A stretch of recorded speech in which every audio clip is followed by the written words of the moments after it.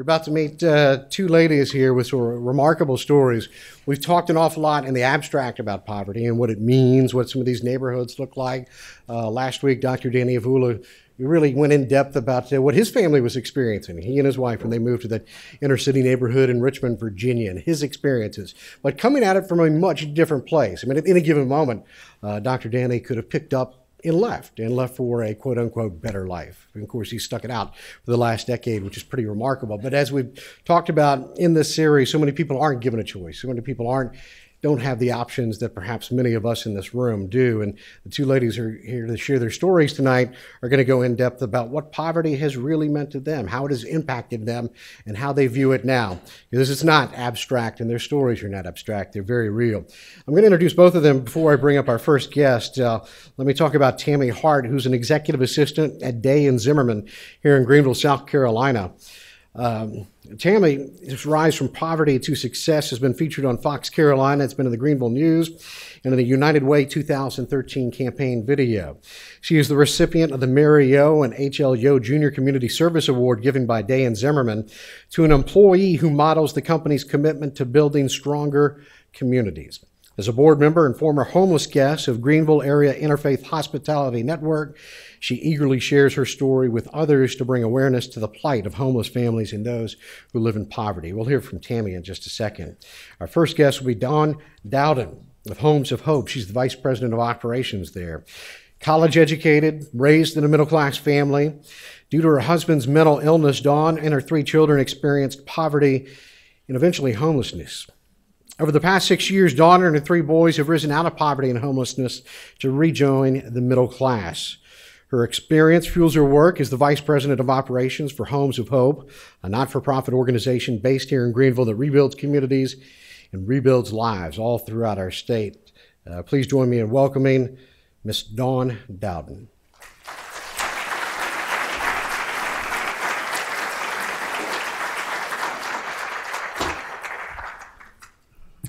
Thank you so much for having me. I've got to get my timer set up here because I tend to talk a lot, especially about something that I'm very passionate about.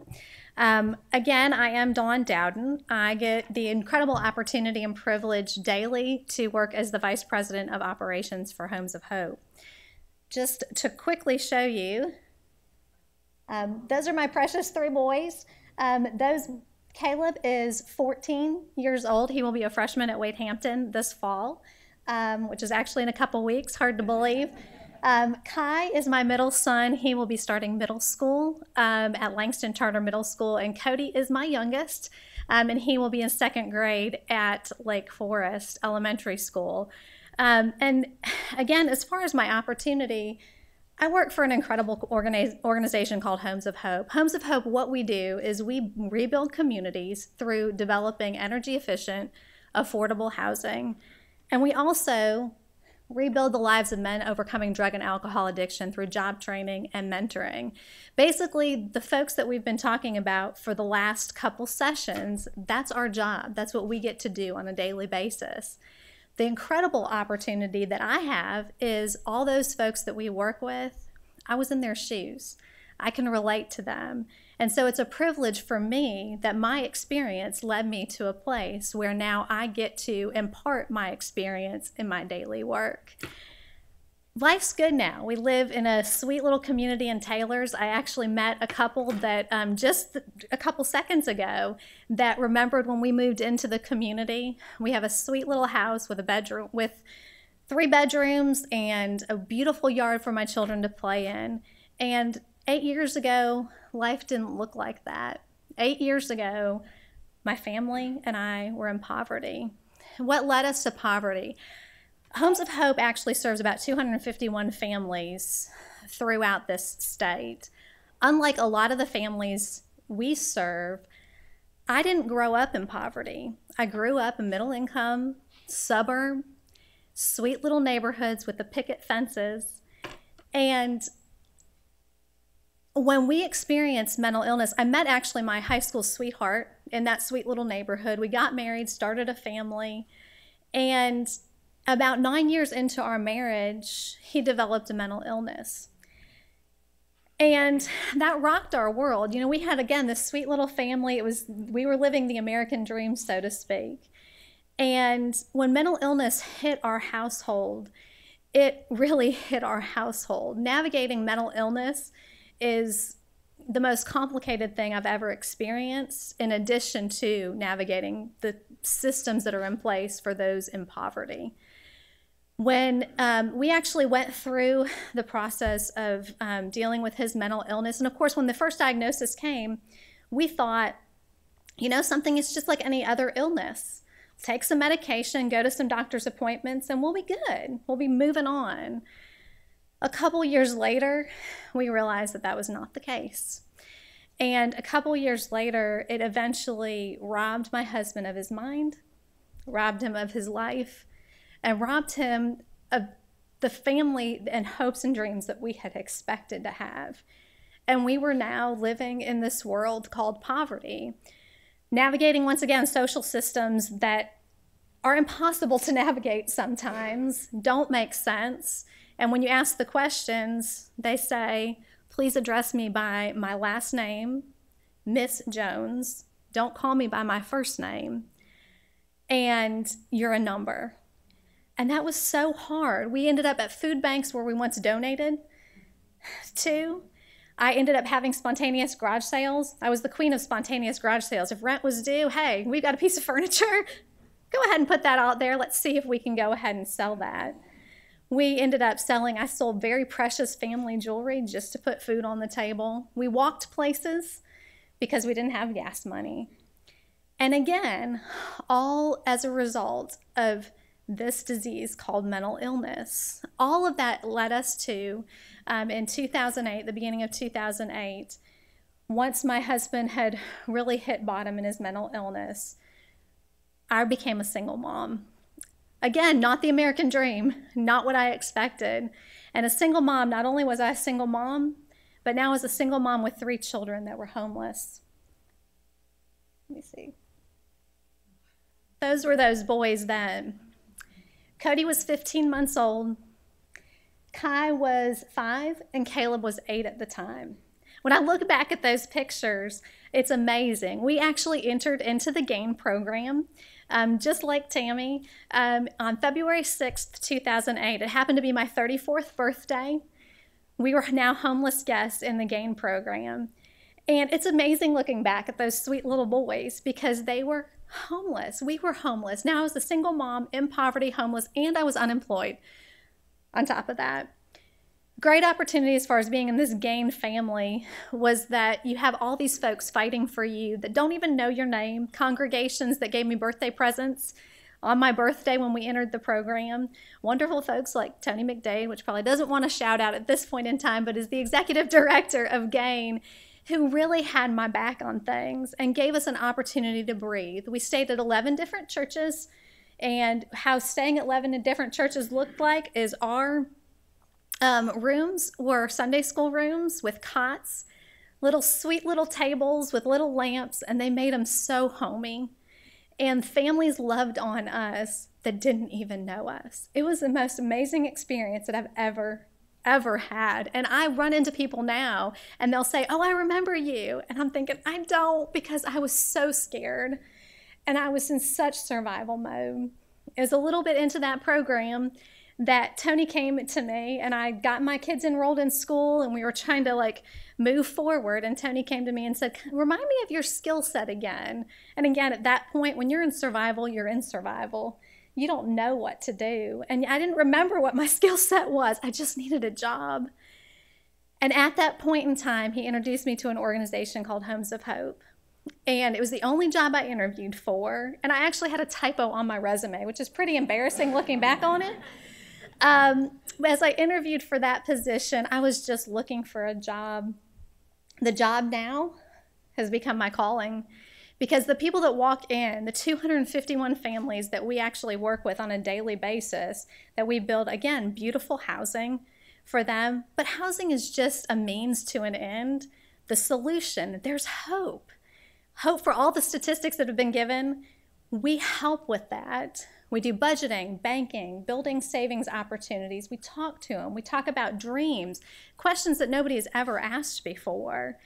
And so, this incredible opportunity, Dr. Avula mentioned things like mixed income communities and those types of things. We do that. Talked about, you know, the systemic changes as well as the interpersonal changes. We do that. We work with families. We ask the questions where do you see yourself in five years? Most have never been asked that question. And when you get asked that question, you kind of see some eyes, you know, light up. What's a savings account? What's a bank? What's what's banking? Most folks are high still in in the neighborhoods we work in are still hiding money underneath mattresses and in glove compartments because they don't trust the banks. We build trusting relationships with folks in the community. And again, I look at each one of those people that come in, lots of single moms, and actually, out of the 251 homes we have, 59% approximately have children in those homes. Oops.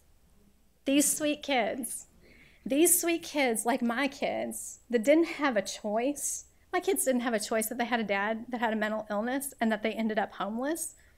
These kids don't have a choice. They can't pick their parents. They grow up in these neighborhoods.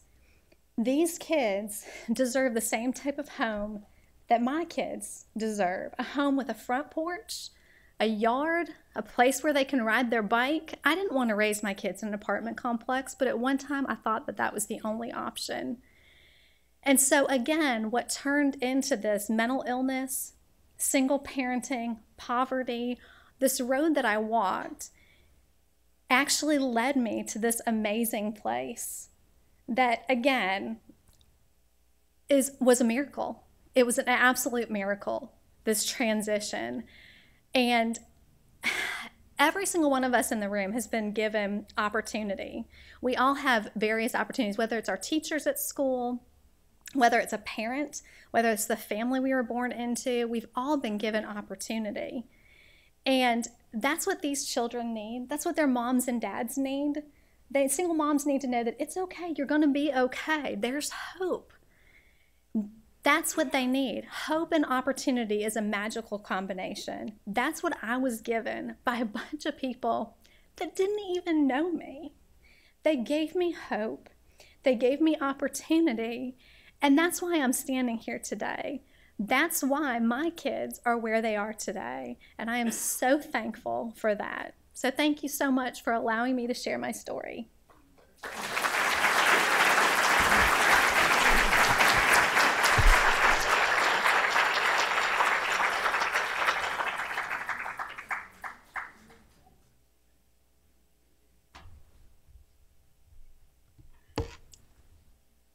Like Dawn, I'm going to get my timer ready here. One second. I'm Tammy Hart. Um, I'm grateful to be here. And a lot of what Dawn said, I can't say any better. Tony, you know, I'm going to call you out too again. Um, there are other people in here whose name I might mention as well. But, oh boy. My version of the American dream died when my relationship with poverty began. When I discovered I was pregnant in my freshman year at USC Columbia, I had to move back home, apply for Medicaid, food stamps, WIC, because a classmate of mine who had just had a daughter knew how to navigate the system. I'd never heard of the system. I didn't know anything about this because like Dawn, I grew up middle class. Of course, we had some issues in the family. My parents were divorced. There was some um, domestic violence um, going on, but I had no idea what food stamps were. I had no idea what WIC was. I didn't know about Medicaid. So when I went to DSS, I became intimate friends with the system for the next roughly 20 years. I wanted to leave poverty alone to break up with it, to sever the ties. But no matter how hard I tried, no matter what job I got, it wouldn't let go. You see, even though I had a high school education, I had some college under my belt, and I even graduated in the top 10 of my high school class. I couldn't find a job that paid more than $8.50 an hour. And you know, at $8.50 an hour, that is not enough to take care of three kids. Because five years later, I had two more children. I was living on my own. I was trying to pay the bills. Um, cars were breaking down. You know, expenses came up. Childcare, which was a big thing, even though there was, I think, an ABC program back then to help supplement childcare, I still had to pay full price for childcare um, in some cases, especially with people, and I think somebody mentioned this last week, when you try to find somebody to take care of your child and you can't afford it, you look for the neighborhood person. Um, somebody recommended a lady to me to um, babysit my youngest one, and um, I lost my job when she had to leave. She she got somebody in her family got sick, and I couldn't find anybody else to take care of my son, so I was laid off from the only job I had at the time. So once again, the cycle began. I was also afraid to let go of poverty because I knew doing so would jeopardize my children's welfare. Because you have Medicaid, you can go to the doctor every year. They can go get their teeth cleaned. They can be taken care of. So basically, I'd become dependent upon the system. And as Dawn said, when you're dependent upon the system, the people look at you like a number. Every single caseworker I had, but one, looked at me as if I was just something to shoe. Here, do this, do that. Why'd you get pregnant? Why do you have these kids? That kind of thing. And I actually overheard one case, and I really want to say this, of people discussing somebody else's um, fertility. How can we keep her from having kids? Not me, but this was said right out there in the open. So, needless to say, this was a difficult time for me. I had nobody to turn to. Navigating this system, navigating poverty was totally new. And I didn't make many friends living in the projects because I was different. Everybody knew I was different. I was not street smart. And so I was pretty naive in a lot of, a lot of things um, that I tried to shield my kids from. Didn't necessarily protect them um, from seeing things that they should not have been exposed to. But as the chains of poverty got tighter and tighter, my hope that I would get out of the situation diminished. Our lowest point when we lived in Donald, South Carolina, and I don't know if any of you ever heard of Donald, but it's a small little hamlet, um, pretty much 20 to 25 minutes in the middle of nope, you know, away from Abbeville and 90 and Greenwood. And we had no car. I lived in a cinder block 1950s apartment that was under the Abbeville Housing Authority. And um, we had a metal screen door, and there was a clothesline in the backyard.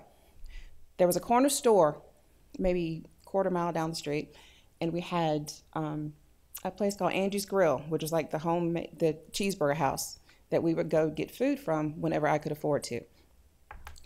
But it got to the point where when I, because I couldn't find a job, we ran out of food, even though I was on food stamps, because it was hard to make ends meet with just food stamps and $436 a month child support.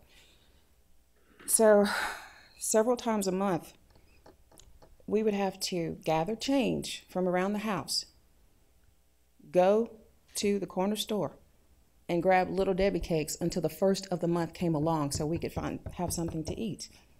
Now, I've never shared that with anybody, but that's how destitute we were. But sometimes it got to the point. I never contemplated suicide, but I always told my I always told myself I'm not leaving my kids because they need me. And I really believe that Donald's wilderness situation, because that's how I saw it, something kicked in. And I said, I can't do this anymore. We've got to get out of here. We've got to get out of here. There was a brief detour in 96. I went back home because my lights went off in Donald's and I couldn't pay because I still had to pay rent. I had to pay light bill. I had to pay gas. And I moved back to 96 briefly into a 640 square foot home that was owned by my cousin. And it barely had running water. And um, I looked for a job because somebody had given me a car, thank God. I looked for a job from November of 2005 until April, April 18th of 2006. I couldn't find anything. I knew people. That was my hometown. I knew Greenwood. Nothing. Nothing was going on. I said, I can't. This is it. I'm going. I'm moving to Greenville. I got up the next day and moved to Greenville on April 19th, 2006. And I told one person who was in here today, she's my good friend. I've known her for, for several years. She was the only person I told because I knew if I told anybody else, they would discourage me from going. But I knew I had to. I just had to get up and go. We came to the church we were living, we were um, attending because I would travel up here on Sundays, no matter what it took, just to get to church. And the pastor there put us in touch with the Reverend Tony McDade of GAIN. We got into the program. We went through the rotation, and as Dawn said, these people were awesome. I felt so good being around people who were encouraging.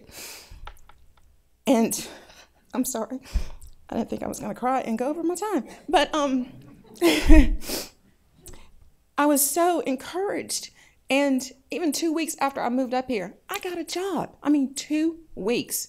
And I knew I had done the right thing. All of my kids were like, Mama, are you sure we're supposed to be doing this? Yes, we are, because there was nothing else. I did not want them living like that. I didn't want them growing up in poverty. I wanted them to have opportunities that I knew were there. So we were in the rotation for two months. We got into a transitional house, and we stayed in that house for two years, even though it was supposed to be one year, because we knew. Because connections you make. You make these relationships with people that put you in the places you need to be when they see what's in you. And see, I knew there was something in me. It may have been that small and hidden by everything else, but other people saw it too. And once we moved up here and got and went through Gain, I found a job at Day and Zimmermann. I first met met Dan Zimmerman, met the company in 2007 as a temp. I came back in 2008 full time. Then the bottom fell out, and um, I was laid off. So I was as I was laid off, what I did instead of panicking, which is what I would have done before, I went back to school. I finished my psychology degree and I lived off of the unemployment that I received for $350 a week. And back in, um, excuse me, in January of 2011, I was rehired full time at Day and Zimmermann. And speaking of, let me tell you about relationships and these people in my life who have helped me out. When I, my old boss called me to come back, I told her, I said, and I'm gonna tell, say her name too, Peggy Bassett. I said, Peggy, I don't have a car right now. I couldn't fix my car broke down. I couldn't fix it. She said, Well, let me see what we can do about that. She found somebody close by, a coworker, who picked me up every day and took me back and forth to work.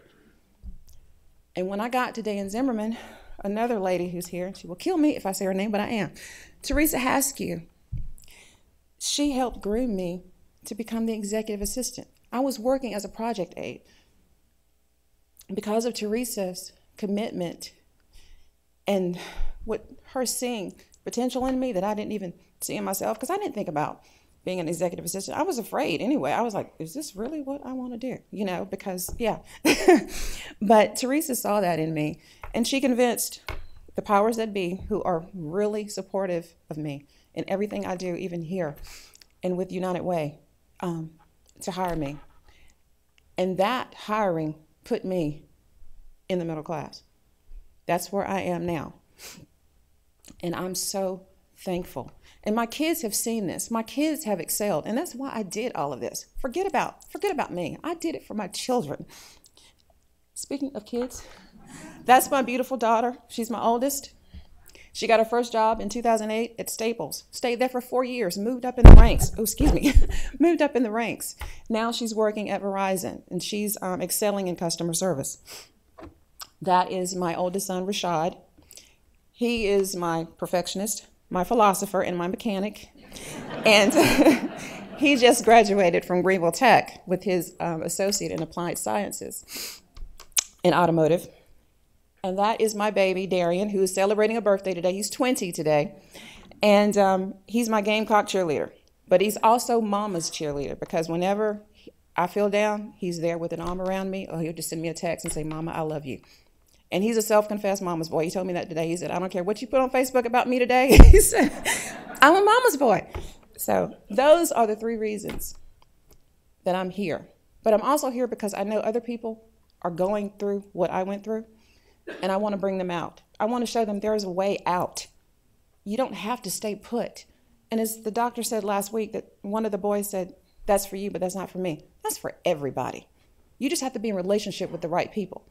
You really have to believe it, and you have to be in relationship with the right people. And I'm sorry for going over, Mark, but I had to. I just, yeah. Anyway, thank you so much. many, many thanks to both of you for coming up here and sharing those remarkable stories because I know that that cannot be easy. Even though both of you are removed from poverty, I have to think uh, that for many years, I mean, for you especially, 20 years, the defining Yeah. characteristic of your life that you had to carry around every single day. There was no escaping, as you mentioned, was there? No, no escaping. There, when you, um, I spoke at a forum about SNAP last year because when Governor Haley was um, thinking about changing, restricting even more what people can buy, um, I felt compelled to co- go speak about that because when I was on food stamps, I, I wasn't happy. I wasn't waving the card around and say, "Oh, I can go to the store and get this and you know and buy this for free." There was nothing free about it. You felt, I felt ashamed because I knew I could do better. I could, and I was better. And I know my kids, it's not something you brag about. So, yeah, that to carry that around and to be constantly in survival mode, Dawn knows what I, yeah, you, it's, it's every day.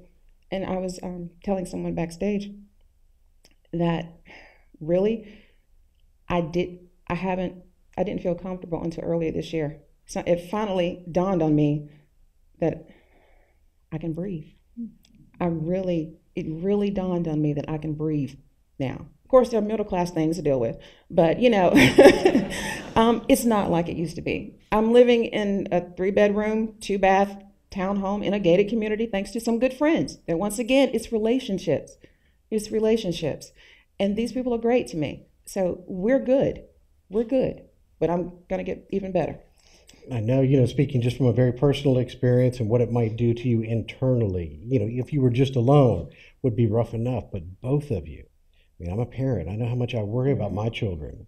We don't have near the problems to think about that the, the, the two of you went through. And Dawn, I would have to think that looking at those three precious boys, knowing that this wasn't what you had planned and intended, uh, must have been beyond comprehension to you at that time to look at them and know we are facing a really, really hard time. It really was. And from the perspective of, um, you know, actually, when we first entered the GAIN program, um, there was an interview, and, you know, and actually, I was asked the question, you know, how long have you been homeless? And it was at that moment where I was like, we're, we're homeless. My children, me, we're homeless. And actually, the real definition of homelessness, as far as being doubled up, we had been homeless for a long time. We had had to stay with family members and that type of a thing because we couldn't pay the bills. And so, multiple family members. And um, it was interesting now because my children will be walking through the store and my children will go, Hey, mom, remember when we were homeless? and and it's an interesting thing because you know they it's just something normal to them you know because it was part of their life. And i look back and it was really hard and i felt like a failure as a mom um, because i didn't protect them and i didn't do what they needed me to do. But programs that are out there like gain when we were staying at the churches i'm thinking we're living in church you know mm-hmm. we're and again depending on the church you know sometimes we were they had showers sometimes they mm-hmm. didn't have showers. And i'm washing my kids in sinks and doing things that i'd never anticipated to do but the highlight for my kids is we were living in a place that had a basketball court, you know, and it was like, this is awesome.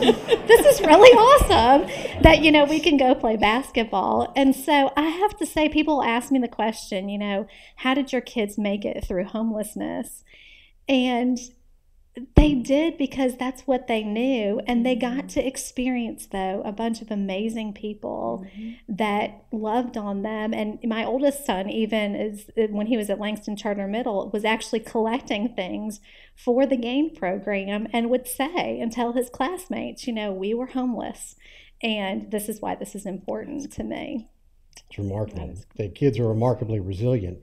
And this is tangential almost in a way to the issue of poverty, but you bring up uh, your husband, mental health. And what we know about mental health in South Carolina is that it's not supported by the state to a large degree, that many of the programs used to support people with mental illness have been cut back drastically to the point that the majority of homeless where I live in Columbia, over 60% have some sort of mental illness. Uh, our emergency rooms in Columbia are filled with people with mental illness. Our prisons, upwards of 30, 35% of those folks with mental illness. When you get caught up in that system, that's also can be a dispiriting one way ticket to a bad place. You probably didn't know that at the time, I'm sure, did you? We didn't. And, you know, navigating, once again, you know, when we when he was diagnosed with the illness, he was diagnosed with schizoaffective bipolar disorder. Mm-hmm. And when he was diagnosed with the illness, you know, again, I handled it like, you know, anybody else would handle it. it was like, okay, who do we need to talk to? What are the doctors we need to talk to? And again, next to the social service system, the mental health system, there's a lot of dedicated workers, but the system itself is maddening to a degree. And for folks that actually have an illness, I didn't have the illness. And I was struggling to navigate who we were supposed to talk to and, you know, what programs were available. He couldn't work. He ended up on disability because he couldn't work wonderful folks. Jane Crisp, I don't know where you are. She's in the audience. Um, she worked for Mental Health America at the time and helped me find housing for him.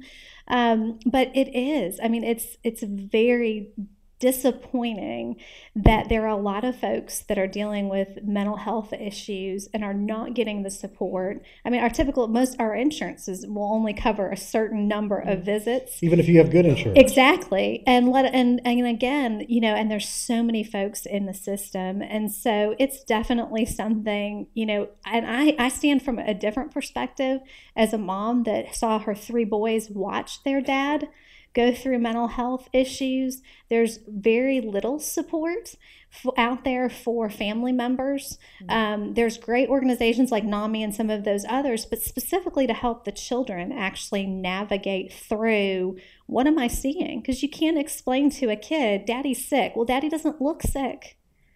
Right. So how you know how am I supposed to? He's saying weird things, but he doesn't look sick, mm-hmm. and it's just there's not the services available for the kids or for to catch the illness at an earlier stage in childhood and those types of things. So absolutely, there needs to be some reform in that area. Timmy, I'm curious if you sat here over the past couple of weeks listening to the presenters, listening to the stories, seeing some of the data up on the screen, having lived this life, you know, for 20 years, as you mentioned, what has resonated most with you over the past few weeks as you've sat here in the audience and, and taken some of this in? What really resonated with me, especially after listening to last week's, was the importance of relationships with people from all walks of life.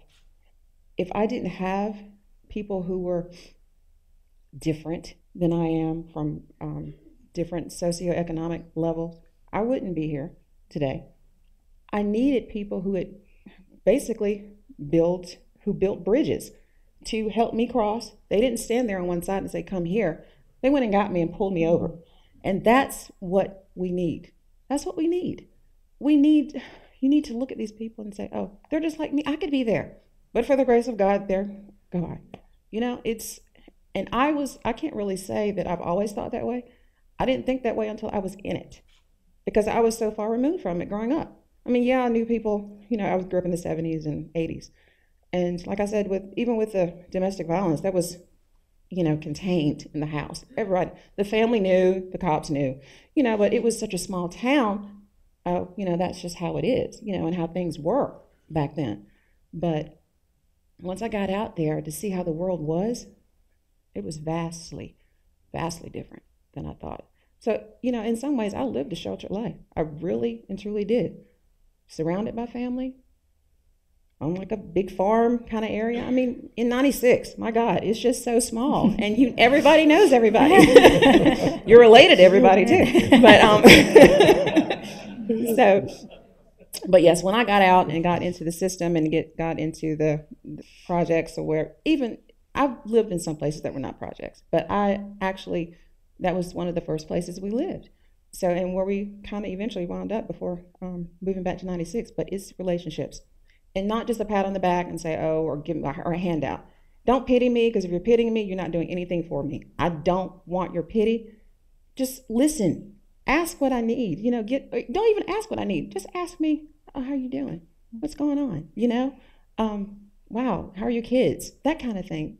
Develop a rapport, and that's how I got the things that I needed. People who learned about me and my family. We started we connected. And giving you a sense of being whole again, yes, perhaps. Yes. You know, many yes. of the people that I talk to in, in this situation over the years, you know, one common theme that comes up is people say, well, Mark, you know, they people just don't look at you as if you're a real person. Yes. Or they'll Yeah. avert their eyes because Mhm. Lord knows we don't want to see, you know, poor people. That's not a good Yes, thing. yes. Uh, to the extent even there's a church in Davidson up in North Carolina. There's a pastor there from this Lutheran church who commissioned the statue of what looks like a homeless man laying on a park bench. It's actually Jesus underneath a, a blanket. Complete out uproar in that town. They wanted it removed. All right, homeless people in the streets of Davidson, this is a nice community. But there is that sense among many people that we just don't really want to see. Mm-hmm. Because if we do, we look hard enough, it's just as painful as us as it is to you, don't you think? You know, I think um, when my kids started, you know, their schooling, um, and we would sit down at, you know, parent teacher conferences and all those other types of things. Um, and when we started in the school system, we were, you know, the homeless family. I mean, they were really nice to us, but they all knew. We started in the middle of the school year. They all knew. Um, they had been gracious and given us school supplies and those types of things.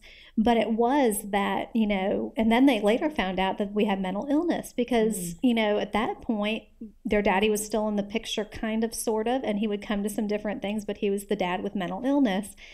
And it is that you know i'm not going to go too far you know i'm not going to ask too many questions because it is it's it, it is a hard thing. It's actually you know we see it in our work at homes of hope all the time that um, you know the those people we'll take people on tours of the neighborhoods in our in the community. In west greenville which is one of the communities that we've actually put 110 single family homes beautiful homes in west greenville. And our very first if you guys remember you know the very first session we had it's one of the highest poverty areas in greenville in the greenville area. And when we take folks on those tours it is. The doors quickly lock you know and it's like oh my goodness because it is hard to see. It's hard to see kids you know living you know in in tough you know areas. And again we've done 110 units in that neighborhood. There's still so much work that needs to be done in that community. And so it is. But but i believe you know my experience, I believe Tammy's experience, I believe, you know, the work of there's a lot of different agencies represented here is to bridge that gap, mm-hmm. is to show that, you know, we are all the same. Again, folks have just been born into different circumstances than you've been. But if you were born in that circumstance, you'd be in the same place. And the children, you know, again, just because a child's in poverty, you know, some of the statistics and some of the things that were going, you know, said last session as far as, you know, food food challenges and those types of things you know and again there is there are those things there but something we like to say at homes of hope is just because somebody's in poverty doesn't mean they know they don't know jesus and they don't know jack um, I didn't coin that myself. Our president and CEO did. But again, for the folks that come and we often, you know, do tours, it is just that, you know, we've got to make sure we share the gospel. And it's kind of like, okay, yes, that's a good thing. And that is part, we are a faith based organization. But there's some of those folks that grow up in that community or that live in that community that live by faith way more Yes. than we Yes. do and Yes. that actually do know how to really make a $200 you know f- you know food stamp snap you know last not with necessarily just processed foods but with other types of things so it is hard it's definitely hard for p- folks to look at and see the reality. We have a roving microphone uh, in the room, so if anybody uh, in the audience would like to ask a question of one of our panelists here today, or maybe both panelists, if you've got a comment, question, then please raise your hand. There's a gentleman over here. looked into the housing first movement around the country at Homes of, at Homes of Hope and, and concluded that providing housing is a real important ingredient in helping people. Well, it's well, it depends because sometimes, as far as how it's defined, housing first ty- typically throughout the country is defined specifically serving folks, taking folks right off the streets and moving them into housing.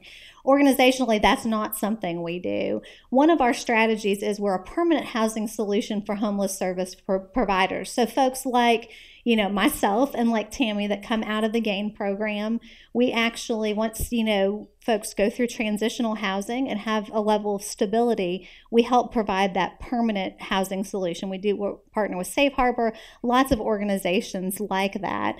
But again, there's other agencies in the area that do have uh, more operate on that model. But the foundation is whether whether housing really does make a difference. You know, we do, we're actually working on this long term kind of impact report of like, what does it really do for a kid that grows up in quality, energy efficient, affordable housing? And the trajectory, does it change it at all? Now, that's a path that we're starting to really measure more. But think about it on a daily basis. If, you know, a little girl grows up in a house that is has holes in the floors, has holes in the walls, has water dripping from the ceiling. And this really happens. We have folks that come in all the time, mildew throughout the house, just horrible situations. And you put that same little girl in a 1100 square foot, three bedroom, two bath, newly constructed home that's energy efficient, mom can afford it. I mean, you get the picture. It makes outlook on life look different. So we're working on all the statistics, but as a mama of three, I can't help but say absolutely housing makes a huge difference. Anyone else in the audience have a question? Yes, ma'am. Let me get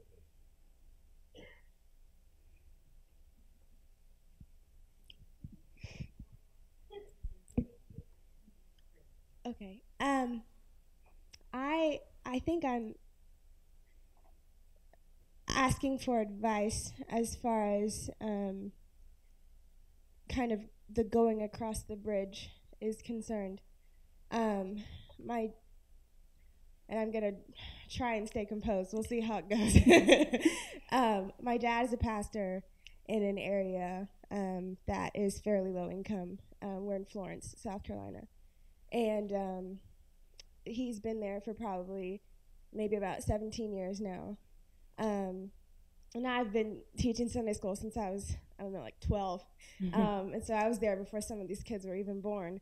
Um, and then we had some new ones come in. And so we're at the middle school and the high school age right now. Um, and over the years that some of these families have uh, been in the church, they've kind of risen to um, a higher standard of living, I guess you could say. So the kids are not, not all of them are in poverty, so to speak. Some of them are, and you've got the situation with grandma, and she's got her kids, and then her kids' kids, and you know there's 13 of them in the house, and two bedrooms, and and that kind of thing. Um, I'm struggling right now because um, the the kids their influences um, are not solely church. And church is just once a week. And the people who are there are so much older than them that there's no connection. And so a lot of their influence is their cousins who are hanging out in the ghettos with all these other kids and whatever it is they run into in public school which i don't even want to talk about. Um, and and i'm at school in greenville so i can't be there to be their sunday school teacher like i used to be. Um,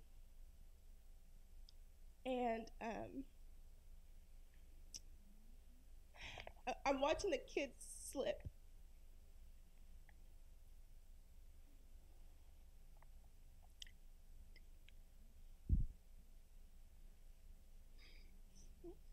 And, and I don't um, I don't know how to tell the parents um, because the parents are rising out of poverty, mm-hmm. and I'm mm-hmm. watching the kids sink mm-hmm. into that mindset and I don't know how to shake the parents awake. The parents don't want to see it. That's what I think. I I So tried what do you do? with the parents.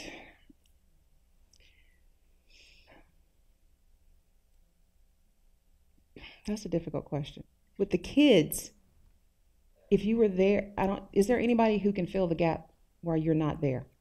Because when I was in a similar situation, my kids thankfully never got involved with drugs. They never got involved with sex. They never did those things, even though it was there. Because I kept telling them, "No, we're not going there. We're not doing that." you're not doing this while you're living with me. When you move out on your own, you can do what you want to do. But that's when, when you can take responsibility for having a child or for, you know, going to jail or whatever the case may be. When you can do that, then you're free to do what you want to do, but not while you're in my house. But what happened with me in the church, and um, we kind of had a similar situation. When I was living in a place called Pine Tree in Greenwood, which is probably way more low income now than it was 15 years ago. There was a pastor, an associate pastor, um, who came around, you know, knocking on the doors and trying to get people to come to Jesus. Um, but his timing was great for me because I needed that. And what they did, and he's an older gentleman, he had no young kids, him and his wife and his daughter.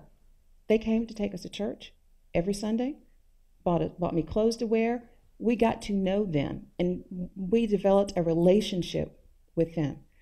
And my kids, they he would take the boys because their fathers could have cared less, you know, um, took the boys places and did things with them so they could have a positive role model. And um, and my father, you know, he he's he was in their life too, but not as much as you know.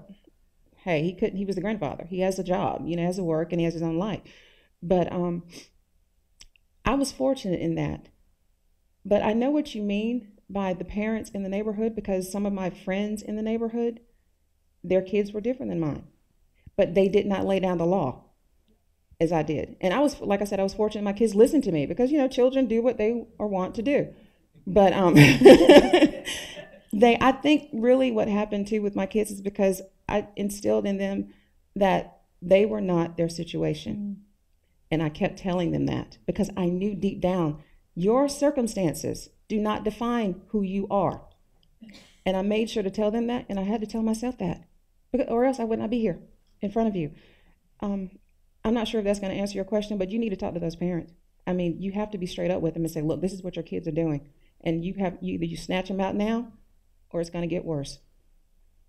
That's the only advice I can give you because I'm try to be pretty blunt with the people I know in my life now. There was a time when I wasn't, but now I am. And you really have to do that. Is it, when's the next time you're going to see these people? Hopefully Sunday. okay. Well, you know, you can do that. I had a pastor who did that once. It was not in the right way, but um, he, because um, it offended me because my child was crying in church. He was two. That's what happens with two year olds, and you don't have a nursery. But, um, but it was kind of a jab at a single parent because you know but that's okay that's what you felt you had to do but if i were you i would address if you have to address the whole church address the whole church you do what it takes to save these kids that's and you know you be that bridge builder and i thank someone for sending me that poem um, is a poem called the bridge builder by will allen dromgoole i think that's the name and it's a beautiful poem and if you can find it, look it up. And I promise you, it's going to make you cry and it's going to inspire you to be that person for those children. Okay. Terrific advice there. For, saying you did not have any advice, you had plenty of advice right there. That was really was fantastic. Is there anybody else in the audience with a question for the ladies here? If not, uh, yes, sir.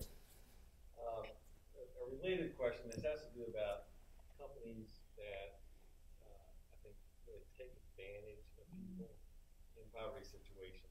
Um, I'm fortunate to be involved in a, a program called Support Circles and Triangle, where we're working with people raised their hand and said, I want to get out of my situation. Um, and we're working with a lady who has a full-time job. Uh, she had to have some, uh, she has a full-time job. She had to have some dental work done. Made the mistake of purchasing some furniture. Uh, but the, the financials behind this were just ridiculous. You know, I mean, she has dental insurance at work, but she still has. Sorry, this mouth. uh, but it, it's predatory type. You know, it, it's uh, interest free for 12 months, but then if you don't pay it off at the end of 12 months, you know, it's like 28% interest rate, and it goes back to the beginning of the loan and this sort of thing. And these companies are, are just taking advantage of the people in this situation. P- You know, cash checking services, ridiculous fees. The question is, uh, is there anything we can do about that? Uh, is there anything anybody is? I guess it's a legal issue. It's a business issue. Is there anything you can do about that? Um, You know, the to make a issue of difference? predatory lending has come up from time to time in the last five years here in South Carolina. Um, yeah, yeah, in many neighborhoods where, where you drive past, you know, those are the storefronts. You know, one right after another.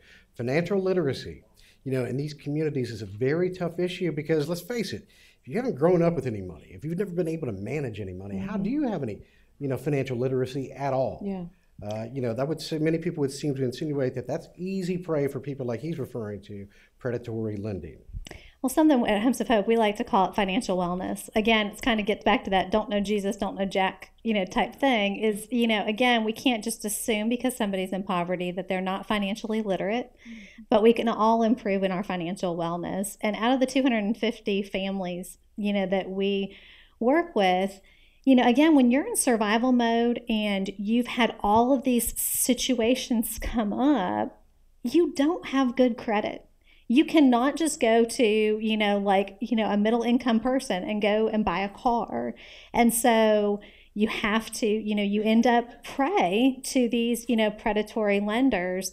And those are the things that organizationally we again go beyond the housing for us you know budgeting banking building savings looking at these you know types of things we actually had one of our clients that was paying, I think it was $400 every two weeks for a, I think it was like a 2008 mm. car. Mm. And again, in her mind, she didn't think she needed a car. And she didn't, and she couldn't go get a car. There's wonderful organizations. Community Works Carolina actually offers a program that will actually help pay off those predatory lending um, uh, loans and actually help folks because again it just continues the cycle of poverty and and it is something i mean from a from christmas time all those types of things where hey get your check cashed here we even have a lot of folks um, that we've act, had to you know have to, to tell you don't have to pay your bills by money order Yeah. Right. I mean, and actually count up. You're You know, at a actually dollar spending a piece, right? Right, seventy-five dollars a year, which could go t- partly towards your electric bill that you're paying, not to mention gas, to go around and pay, and pay that. So financial wellness is a huge issue for us as an organization, and it's a huge issue as far as you know breaking that cycle of poverty. Yeah. Well, ladies, once again, thank you so much for taking time to share your remarkable stories. Very tremendous. An awful lot of bravery there too. I mean, both of you women, you know, very brave. You know, single moms with some beautiful kids who've all turned out and turning out great. So, many congratulations to both of you. And we'll wrap up the series next week with a good conversation about the city of Spartanburg. For those of you not familiar with uh, downtown Spartanburg, for many years, like many other cities, uh, was victim uh, of decay, and over the years had not looked like its old self back in its heyday, the 50s and 60s. And what has happened there in terms of revitalization means a lot of people have come together. You, universities, hospitals, community groups, faith groups have come together to work together to make that a vibrant whole place again. And it's working. It's a really neat success story and one that I think you'll love to hear. We'll also hear from the recently retired CEO and chairman of Costco. Many of you shop there. They pay their employees a little bit more than most places in the service industry, uh, quite a bit more, as a matter of fact. We've heard some people say, well, that's bad for business. It's going to lay people off. Well, they have taken this on as a, to be a business virtue. How is it working out for them? How has it affected their sales? How has it affected their clientele? He's a great story, and he'll be here with us to wrap things up next week, same time, same place, right here at the Yount Center. Thank you for coming.